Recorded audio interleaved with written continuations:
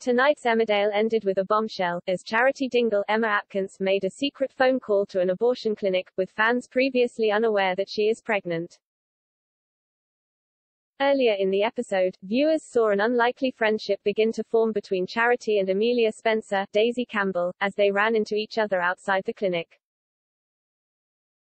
Charity was quick to offer advice and a shoulder to cry on to the teen, before supporting her through her appointment. However, Charity was shocked to discover that Amelia's pregnancy was much further on than she had been led to believe.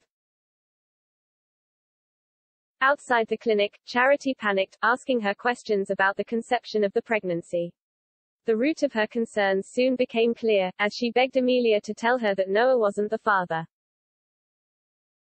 She's convinced it's Noah's at this point and that's really stressful for her because he'll shortly be arriving back from prison after having a custodial sentence for harassment so I think she realizes he's once again got himself in this horrendous situation, Emma told us.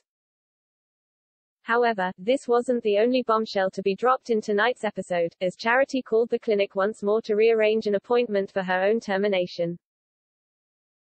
Emma Atkins revealed that this was not a planned pregnancy for Charity, so she chooses to keep it top secret. I think a lot of the time Charity thinks, what's the quickest way to solve this problem? Sort of eradicate the obvious, make it invisible almost. She knows she's late 40s, she's not been the greatest mum in the village, people know that. So, I don't think she can really handle the idea of letting the whole village know that she's pregnant. There'd be a lot of skepticism and judgment and she knows it because she's not been the most successful of mothers. Motherhood has been a real struggle for her. She's not maternal. Of course, bumping into Amelia was the last thing Charity expected, as Emma went on to explain.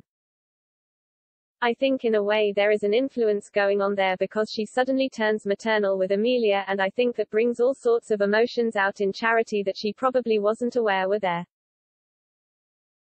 A lot of the time your emotions are very subliminal and you don't recognize it until it's too late.